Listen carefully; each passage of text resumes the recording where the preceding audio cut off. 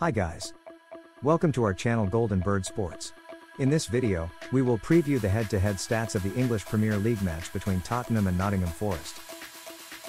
Watch this video till the end to analyze and please make sure you give your valuable reviews and predictions below in the comment box.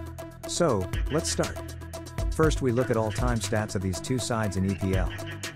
Tottenham has played 1,220 matches so far, by winning 537 out of it. They have winning percentage of 44%.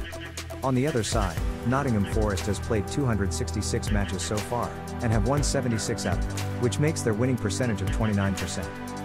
Both sides faced each other 13 times so far, by winning 6 out of it. Tottenham have winning rate of 46% against Nottingham Forest.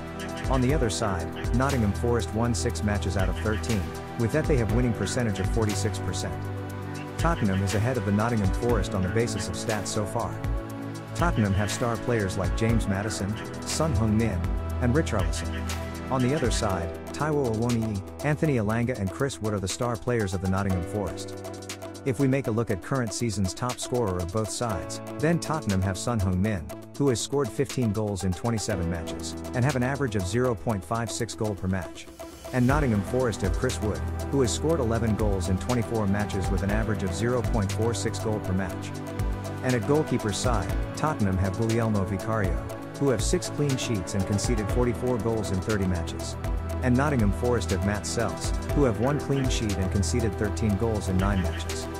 In their last meetings, the match has won by Tottenham with 3 to 1 and another one won by with 2 to 0.